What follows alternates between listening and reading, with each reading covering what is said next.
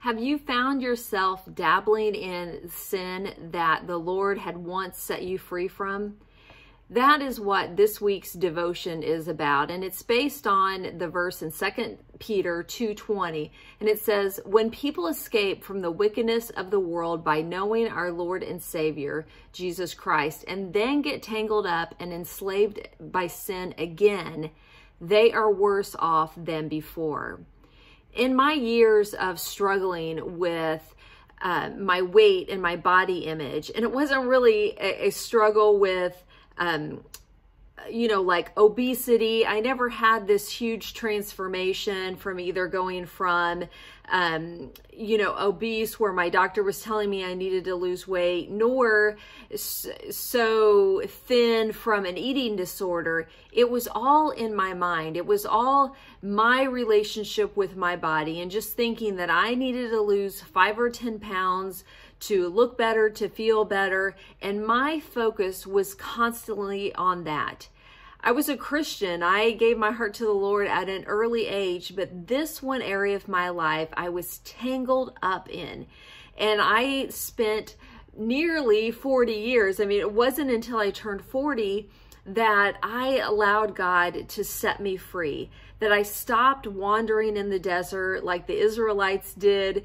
Um, we read about them back in Exodus and Deuteronomy. And then in Deuteronomy, the Lord told Moses, He said, You've circled this mountain long enough. Now turn north. And he spoke those same words to me, you know, at the time I was about to turn 40 to find freedom. But before that, I, I was searching for freedom. I wanted to be free from this battle.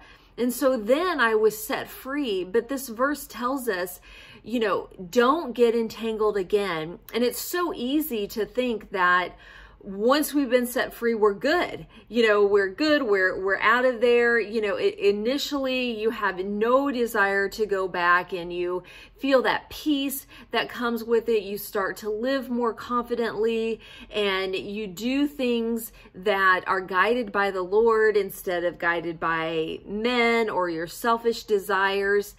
But then you know, Satan knows where we're weak, where we're vulnerable. And so he's going to continue to attack this same area.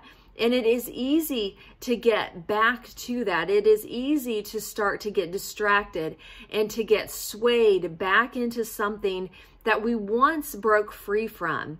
But this week's devotion that I wrote, I shared on my social media and I also posted on my website every Sunday, is all about not going back.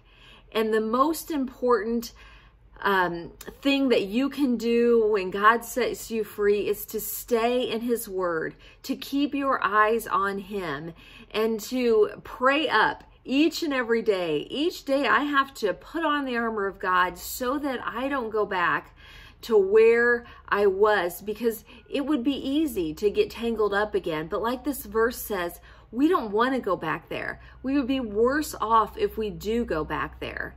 So I just ask you again, have you been dabbling? Have you been finding yourself dabbling in a sin that the Lord wants set you free from?